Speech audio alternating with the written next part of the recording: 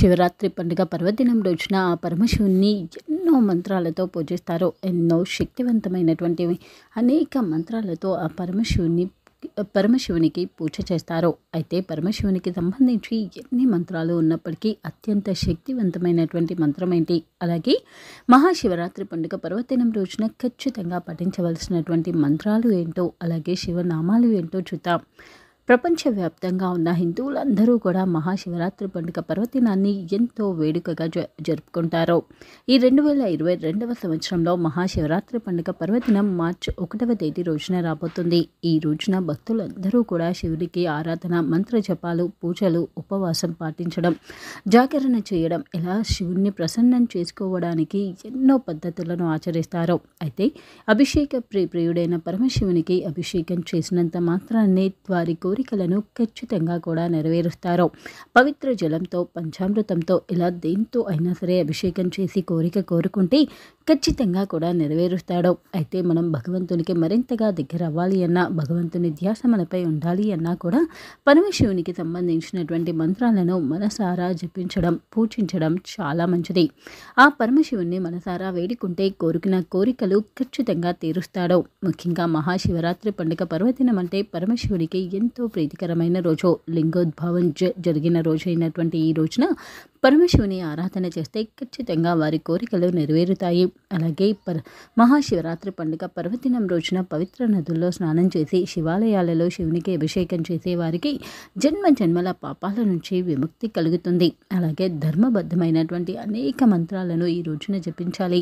ముఖ్యంగా ఈ ఈ రోజున చేసేటువంటి మంత్ర జపం అనేది మన చుట్టూ దైవ శక్తిని పెంచుతుంది. మన చుట్టూ ఉన్నటువంటి దుష్ట శక్తుల ప్రభావం అనేది తగ్గుతుంది. ఈ రోజున చేసే పరమశివుని మంత్ర జపం అనేది మనకు ఒక రక్షణ కవచంగా ఉండబోతుంది. ముఖ్యంగా ఇది మన చుట్టూ కూడా ఎలాంటి దుష్ట శక్తుల ప్రభావం నరదృష్టి ఉండకుండా చేస్తుంది. ఈ రోజున చేసేటువంటి పరమశివుని మంత్ర జపం కారణంగా జన్మ జన్మల పాపాల నుంచి విముక్తి పొందడమే కా కాకుండా ఎలాంటి చెడు దుష్ట శక్తి మనల్ని ఏమీ చేయలేదు. అలాగే మన కోరికలు ఖచ్చితంగా కూడా నెరవేరుతాయి. అందుకే ఎంతో విశేషమైనటువంటి మహాశివరాత్రి పండుగ పర్వదినం రోజున పరమశివుణ్ణి మంత్ర జపాలతో పూజించాలి. ముఖ్యంగా పరమశివుని మంత్రాలలో ఒకటి మహామృత్యుంజయ మంత్రం. మహామృత్యుంజయ మంత్రాన్ని ఎవరైతే సరిగ్గా పఠిస్తారో వారికి సంపద ఆరోగ్యం మాత్రమే కాదు శాంతి శ్రేయస్సు కూడా వారి జీవితంలో ఉంటాయి. వారి జీవితంలో కష్టాలు అనేవే రాదు. అంతటి విశేషమైనటువంటి మహామృత్యుంజయ మంత్రాన్ని ఎంతో విశేషమైన విశేషమైనటువంటి శివరాత్రి పండుగ పర్వదినం రోజున ఖచ్చితంగా జపించాలి. అయితే ఈ మంత్రాన్ని పఠించడానికి కొన్ని ఖచ్చితమైనటువంటి పరిమితులు ఉన్నాయి. అందుకని మహామృత్యుంజయ మంత్రాన్ని ఎప్పుడు ఎలా జపించాలో పూర్తిగా అవగాహన వచ్చాక మాత్రమే ఈ మంత్రాన్ని జపించాలి. మహామృత్యుంజయ మంత్రాన్ని జపించడం అంటే జీవితంలో ధైర్యాన్ని నింపుకోవడమే. అలాగే ఈ రోజున చేసేటువంటి మహామృత్యుంజయ మంత్రం కారణంగా మనకు అన్ని విషయాలలో విజయం కలుగుతుంది. ఆర్థికంగా ఆరోగ్యపరంగా కూడా అనుకూలంగా ఉంటుంది. ఈ రోజున చేసే మహామృత్యుంజయ జప మంత్రం అనేది మనకు సంపదను శ్రేయస్సును ఇస్తుంది. ఇక శివునికి సంబంధించినటువంటి నూట ఎనిమిది పేర్లు అంటే శివ అష్టోత్తర నామాలను పఠించాలి. ముఖ్యంగా శివ అష్టోత్తర నామాలను ఈ రోజున ఎవరైతే పఠిస్తారో వారికి ఎలాంటి దోషం ఉన్నా సరే పోతుంది. ముఖ్యంగా ఈ రోజున శివ అష్టోత్తరం కానీ శివ సహస్రనామావళి అంటే శివునికి ఉన్నటువంటి వెయ్యి పేర్లను అయినా సరే ఆరాధించే వారికి చాలా మంచి జ జరుగుతుంది. ఈ రోజున చేసేటువంటి శివ సహస్రనామావళి మనకు మన జీవితంలో మంచి చేస్తుంది. అలాగే ఇప్పటి వరకు ఉన్నటువంటి కష్టాలన్నింటి నుంచి కూడా విముక్తినిస్తుంది. అలాగే మహాశక్తివంతమైనటువంటి శివ పంచాక్షరి మంత్రం అదే ఓం నమ శివాయ మంత్రం. ఎవరైతే ఓం నమ శివాయ మంత్రాన్ని ఈ రోజున నూట ఎనిమిది సార్లు పఠిస్తారో వారి ఆత్మ శుద్ధి అవుతుంది. వారిలో ఉన్నటువంటి ద్వేషం కోపం స్వార్థం ఈర్ష అసూయ తొందరపాటు ఇవన్నీ కూడా పోయి వాటి స్థానంలో వారికి మానసిక ప్రశాంతత ప్రేమ సంతోషం కలుగుతుంది. ముఖ్యంగా వారి జీవితంలో అసలు కష్టం అనేదే రాదు. పరమశివుని అనుగ్రహం ఎప్పుడూ కూడా వారికి ఉంటుంది. ఇక అంతటి విశేషమైనటువంటి మరొక మంత్రం శివ గాయత్రి మంత్రం.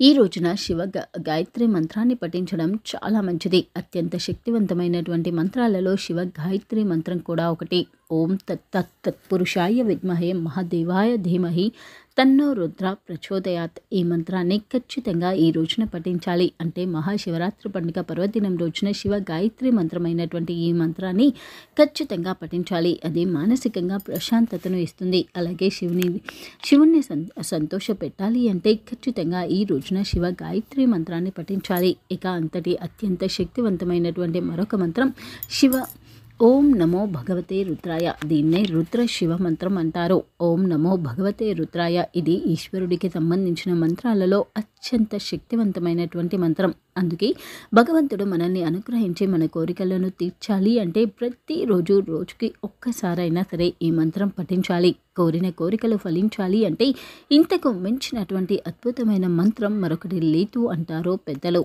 ఇక అంతటి విశేషమైనటువంటి మరొక మంత్రం గణేష మంత్రం. ఓం మహాదేవాయ విద్మహే రుద్రమూర్తియే ధీమహి తన్నో శివ ప్రచోదయాత్. ఇది కూడా చాలా విశేషమైనటువంటి మంత్రం. అలాగే ఈ రోజున శివ ధ్యాన శివ మంత్రాన్ని పఠించడం కూడా మంచిది. ఈ మంత్రం పఠిస్తే ప పరమశివుడు తృప్తి చెంది పాపాల నుంచి మనల్ని విముక్తి చేస్తాడు. ఆత్మశుద్ధి చేసి జీవితంలో నెలకొన్నటువంటి కష్టాలన్నింటినీ కూడా పోగొడతాడు. అందుకే పరమశివునికి ప్రీతికరమైనటువంటి శివ ధ్యాన శివ మంత్రాన్ని కూడా మహాశివరాత్రి పండుగ పర్వదినం రోజున పఠించడం చాలా మంచిది. అలాగే లింగాష్టకం లింగాష్టకంను పఠించే వారి ఇంట్లో కష్టాలు అనేవే ఉండదు. శివ పూజ చేసేవారు ఖచ్చితంగా ఈ రోజున శివలింగాష్టకంను పఠించడం చాలా మంచిది. శివలింగాష్టకం పఠించే వారికి జన్మ జన్మల పాపాల నుంచి విముక్తి కలుగు కలుగుతుంది. చేసిన దోషాలు అన్నింటి నుంచి కూడా విముక్తి కలుగుతుంది. తప్పకుండా శివ ఈ రోజున శివలింగాష్టకంను పఠించడం చాలా మంచిది. అలాగే ఈ రోజున శివునికి సంబంధించి కపాలి పింగళ భీముడు విరూపాక్ష విలోహిత శాస్త్ర అజపాడ అలాగే ఆ ఆయుర్భుధన్య అలాగే శంభు చంద భువ ఇవి కూడా ఏకాదశ రుద్రస మన్ రుద్ర మంత్రం అంటారు. ఇవి మొత్తం పదకొండు మంత్రాలు ఉంటాయి. ఈ పదకొండు మంత్రాలను కూడా మహాశివరాత్రి పండుగ పర్వదినం రోజున పఠించడం చాలా మంచిది. ఇంతకుముందు చెప్పినటువంటి అత్యంత శక్తివైనటువంటి శక్తివంతమైన శివ మంత్రాలన్నింటినీ కూడా మహాశివరాత్రి పండుగ పర్వదినం రోజున ఎవరైతే పఠిస్తారో వారికి జన్మ జన్మల పాపాల నుంచి విముక్తి కలుగుతుంది.